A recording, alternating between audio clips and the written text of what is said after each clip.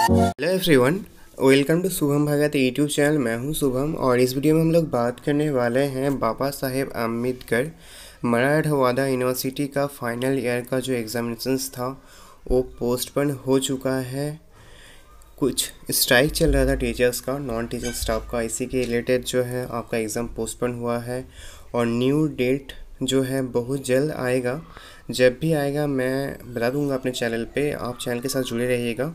और इसके अलावा कुछ क्वेश्चंस होता है तो कॉन्बॉक्स बॉक्स में पूछ सकते हैं। बेसिकली आपका एग्ज़ाम पोस्टपोन हुआ है। आप लोग जानते ही होंगे, ठीक है?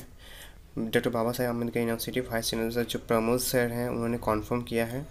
और इसके अलावा जो न्यू डेट होंगे, वो बहुत ही जल्द जो है आपका आएगा। और नॉन टीचिंग स्टाफ का जो स्ट्राइक चल रहा है स्टेट पे ट्वेंटी फोर्थ ऑफ़ सेप्टेम्बर से चल रहा है तो उसी के रिगार्डिंग जो है, आपका फाइनल ईयर का एग्जामिनेशन जो है कैंसिल हो चुका है। ठीक है।